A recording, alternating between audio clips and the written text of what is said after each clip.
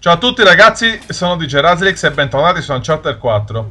Oggi parlerò di un trofeo nascosto, stiamo parlando del trofeo Spadacino. Come potete vedere, alla fine del gioco affronterete Rafe in un duello con la spada.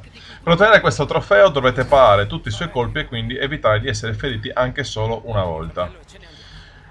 Per quanto riguarda l'incontro vi dico che l'incontro ha più checkpoint, quindi se magari riuscite a raggiungere un checkpoint senza essere feriti e in quello successivo venite feriti, ricaricate l'ultimo checkpoint e il trofeo ve lo dà lo stesso.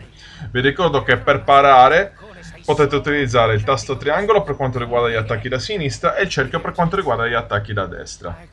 Vi ricordo anche che comunque una volta che avete finito il gioco è possibile affrontare tutti gli scontri avvenuti nello stesso, nello stesso gioco e quindi anche lo scontro con Wraith, quindi lo potete ripetere tutte le volte che volete.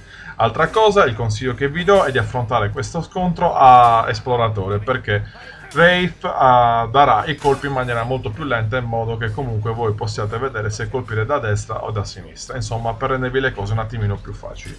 Per questo trofeo è tutto e ci risentiamo al prossimo trofeo di Uncharted, il vostro DJ.